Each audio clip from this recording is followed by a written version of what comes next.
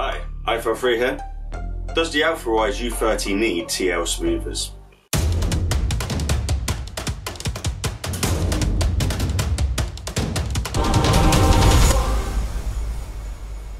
So, looking at our driver, which is the A4988 stepper driver, don't worry about this, this is a breakout board. Our chip is actually built into the main motherboard.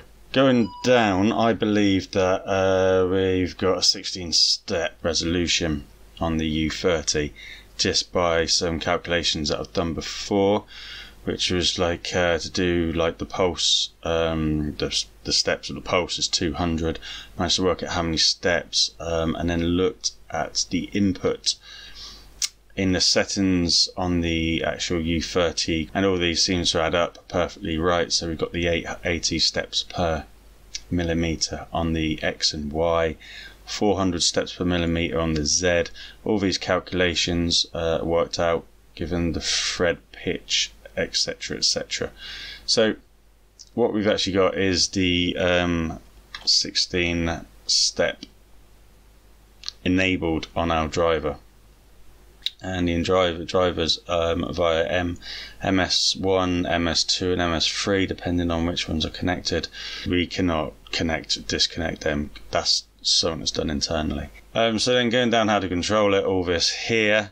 I found this really handy web page, which is great. I'd recommend going through it with you. It's in French, but Google kindly translates it for you. This guy called Yo goes through everything on the tr- on, on working out your equations and whether all this inputs are correct in the actual software that you can adjust on the U30.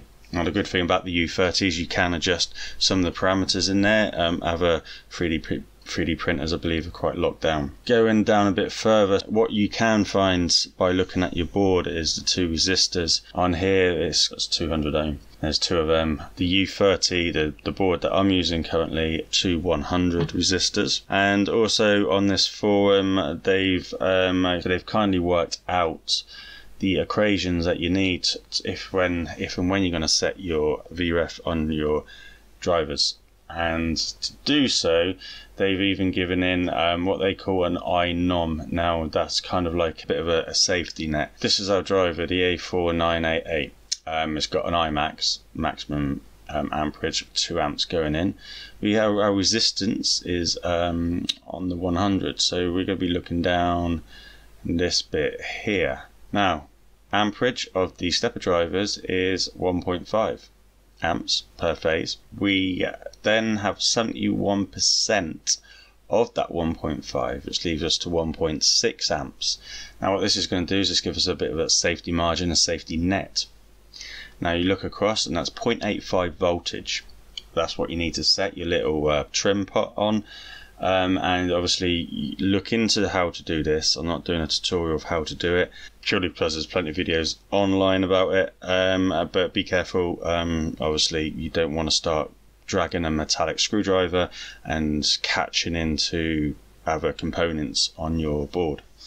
So 85 was the um, X, Y, and Z axis, and this is kind of along the lines of what Alpha Alfawise um, replied to me in an email, saying around the eight mark. They also said it is a like about the one volt VREF for the extruder.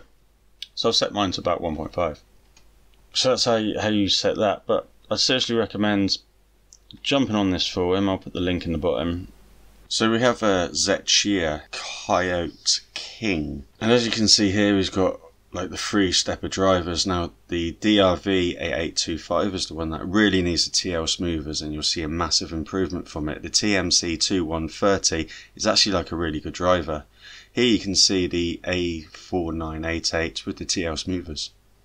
And there's a slight bit of difference. So these are two prints that I originally printed off. Obviously, you could argue that they're not in the same filament. So it might not be a fair test. I'm not too sure if you can see. There is actually a very slight difference. Now the one in the blue was the printed version without the TL smoothers. And the one in the pink was with the addition of the TL smoothers. And this, when I'd done these two, was with the um, 8 diode configuration. So the one with the pink, you can't see in it as much. The little lines going up and over here. So originally this this was a, um, uh, a tester for testing to see um, if you do need TL smoothers, but they were quite big and took a bit of time. So then I found another Thingiverse and I've managed to print off a load of these smaller ones. So to start off with I printed two of these. Now these are actually lined slightly off of the axis axes. I believe they're kind of sunk similar to that or maybe like that. And then what that does is, is just slightly offsets it by so many degrees just so you can find this um, this little phenomenon phenomenon phenomenon and um, as you can see hopefully if I was to move it around like this you can see the uh, little circles. It doesn't really make that much of a difference. Now if the U30 was using the DVR 8825 stepper motor driver then it will probably be a lot more of a problem. But this is only very slight. So I brought the um, 8-chip TL smoothers um, and if you look at the back of these you can definitely see some some diagonal lining on there and if you look on the back of these with the 8 diodes per chip and then I saw these. So these were the four diode ones, and I quite like these because they come in like a heat shrinkage sort of little protective bit. So you've got no worries of it, um, anything touching it and sparking and shorting out. So when I've done the tests on these, which was just a four, for some reason I've done two and then done another two. I think because I had this line going down here right around there and cleans my rails because I've been doing quite a bit of printing and that seemed to have got rid of that line. There's still a tiny little bit of line there but it, it got rid of it. Um, so there's a little lump of something in there I'm not too sure but the, this virtually got rid of the the, the, the sort of ringing again but not to the extent of uh, what the 8-chip diodes did.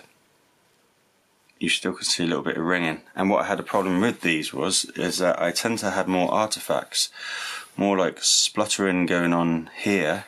This was all using the same G code, like a few more artifacts going on here and on the back of there by using these ones. Now the only difference between these ones and the other ones are these these diodes are a bit bigger. Um, they can take more of a higher current through them. Not that it's, it, the current or the voltage is going to be getting anywhere near it in our situation, but that they've got the bigger drivers or the bigger diodes on there. Um, and then I thought it might be an interesting test um, because I needed to update the firmware and then print off. And these are the FU ones, the like firmware update that is update the firmware and again you still can see ringing in there like if that was going to make a difference to anything but it didn't so eventually what I have gone with I've gone with like um, obviously the 8 chip diodes TL smoothers the 8 chip the 8 diode TL smoothers. Um, I readjusted the voltages on the drivers. So I made this. Now this is just a prototype. It's not the same as the one I've uploaded. Um, the one I've uploaded, I've changed this solid bit here onto this side. Um, if you imagine that, like on the 8 chip ones, it's kind of like this sort of size, and that's what I, I was kind of had high hopes for these ones because they were like a lot smaller and a lot thinner. But they're about roughly that side of the board, and that just then slots into there, and then the diodes are this side, and I couldn't put them around this way because then when this is attached to the power supply unit for a couple of zip ties here and here, these are then slot in here and here and here and here. And um, how the wiring is, it, the uh, the other ones come out here, not out the top either. So it had to kind of come back in and around, so it's getting a bit tight. So I adjusted it, so it could go that way. So then the wiring could come in this way, which was a lot more easier. And you wasn't getting so much of a twist on the wiring. Now, hopefully you can see it. There's uh, two little notches there and there, and on the eight eight diode ones, there's a couple of little mounting holes, and and they just clip into there. And by bending these back, opens it up, plonk them in, and it holds them in there really nice and tight. Attach the side of the PSU, and any heat that's in the diodes then can come up and it's free to move and escape. They're not encapsulated in anything and they're quite nicely safe. When you are installing this, I really do advise you to obviously turn off the power supply unit, unplug it, and just make sure there's no charge in the capacitors. Leave it for a little while before poking cable ties, zip ties in there. And when you do do it, poke them into line them up in the other holes. Use just to bend the zip tie three or four times. A nice little pointy bend on the end. When you thread that through the metal hole bit, you can sort of turn it at a bit of an angle and then try and poke the thing up. It's a bit, it's a bit tricky, but yeah, don't do it when it's on. Now the big question is, should you have TL smoothers on the U30? Well, you don't really need them. I mean, the, the driver, the A4988, is quite a good driver. So just to summarise all this up, um, no, I don't think it does. I think any of the salmon skinning that's on there, if you are going to sand the model down, you're going to sand away that anyway. Um, bits do fit together quite well, even with the, the slight salmon skinning on there.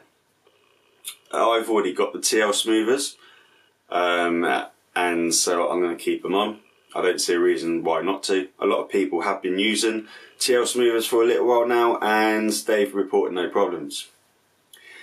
If you had a better driver, then I see the reason not to use them, sort of thing. But the the A4688 driver, if I remember correctly, is a kind of me mediocre driver. It appears to be okay, and um, the TL smoothers is just going to give it a fine little boost. I think. I think the more important thing is to adjust the voltage uh, VREF on your drivers via the adjust, adjustable trim pot. I'd say that's probably the most important thing to check, but obviously be careful on how to do that. Obviously, I think if you're printing things like a vase or vase, whatever you want to call it, um, and you're doing more of a decorative print, the TL smoothers might be something you might want to purchase. They are cheap as chips. It's not going to do you no harm. Can't see why not. Um, if you're like myself, do a lot of 3D printing, and it's more for um, you know, useful kind of things that need to work but don't need to look pretty, then I don't, I don't really see the point of buying them as such. But 48 quid, um, the improvements are noticeable, so it's kind of like a, a, a cheap mod, I'd say. So um, I'll leave it up to you. I'll kind of like 50-50. So yeah, I feel free over on it.